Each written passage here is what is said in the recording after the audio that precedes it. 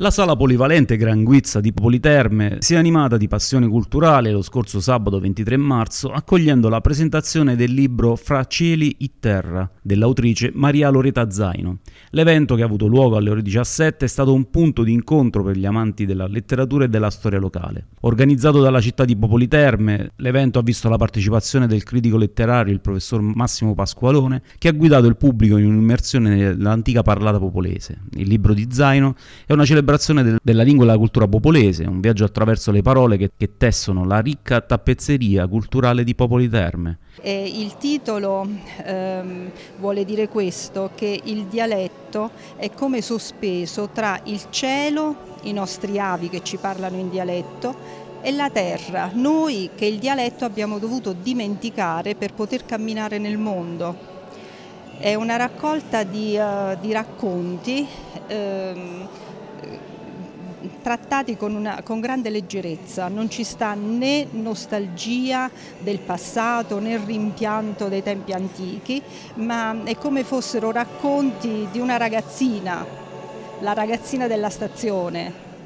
che ehm, nella giornata vede soltanto il lato positivo e cerca le cose buone senza rimpianti e senza dispiaceri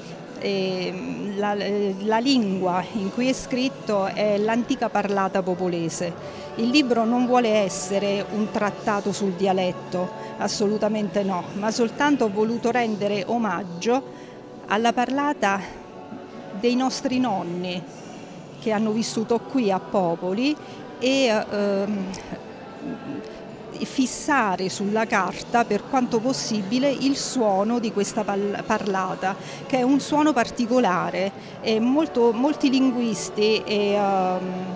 dialettologi non lo conoscono, il dialetto popolese non è conosciuto. E quindi ho voluto fare questo omaggio semplice e niente di più. Un libro molto particolare perché nell'antica parlata di popoli vengono raccontati personaggi, odori, emozioni, ricordi e memorie dall'infanzia fino ai giorni nostri. Poi un dialetto molto molto particolare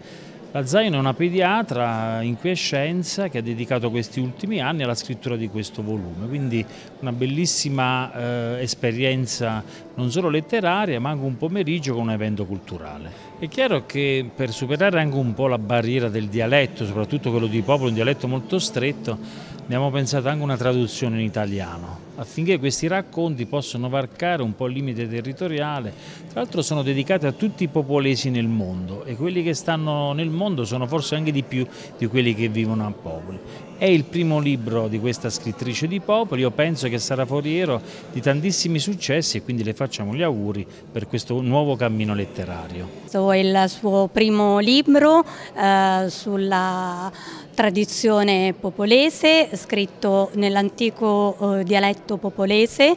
E, è un libro che, che, parla delle tradizioni, che parla delle emozioni eh, di tempi passati e che trasmette quelle che sono le, quella che è la cultura di una eh, realtà eh, di un tempo, di una realtà che eh, oggi diciamo, viene fatta conoscere ai, alla nuova generazione e che viene eh, riscoperta dalla vecchia generazione. Il dialetto eh, sappiamo che da noi è, è la lingua ufficiale del paese, cambiano da paese a paese anche limitrofi, quindi è una, la cultura del dialetto credo che non si debba perdere assolutamente, bisogna, bisogna rinvigorirla perché, perché, è la storia, perché, perché oggi i ragazzi eh, eh, non usano l'italiano, non usano il dialetto, usano tutti i termini in inglese, quindi secondo me eh, ci fa bene, ci fa bene tornare, tornare a, a conoscere